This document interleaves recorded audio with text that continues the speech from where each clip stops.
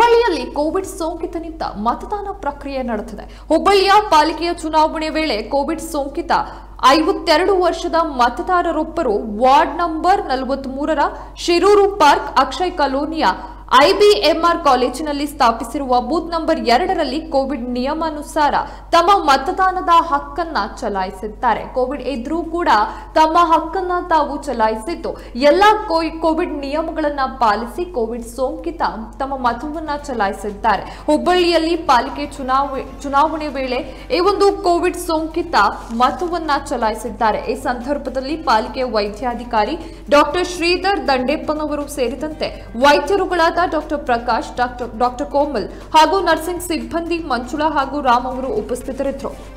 Covid ಇದ್ರೂ ಕೂಡ ತಮ್ಮ ಹಕ್ಕನ್ನ ತಾವು ಚಲಾಯಿಸಬೇಕು ಅಂತ ಹೇಳಿ ಐವತ್ತೆರಡು ವರ್ಷದ ಕೋವಿಡ್ ಸೋಂಕಿತ ಹುಬ್ಬಳ್ಳಿಯ ಪಾಲಿಕೆಯ ಚುನಾವಣೆ ವೇಳೆ ತಮ್ಮ ಹಕ್ಕನ್ನ, ಅಂದ್ರೆ ಮತವನ್ನ ಹಾಕೋದ್ರ ಮೂಲಕ, ಮತವನ್ನ ಚಲಾಯಿಸುವ ಮೂಲಕ ತಮ್ಮ ಹಕ್ಕನ್ನ ತಾವು ಪೂರೈಸಿದ್ದಾರೆ.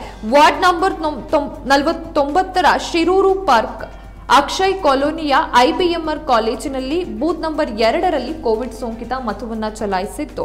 ಕೋವಿಡ್ ನಿಯಮಗಳನ್ನು ಪಾಲಿಸಿಯೇ ತಮ್ಮ ಮತದಾನದ ಹಕ್ಕನ್ನ ಚಲಾಯಿಸಿದ್ದಾರೆ.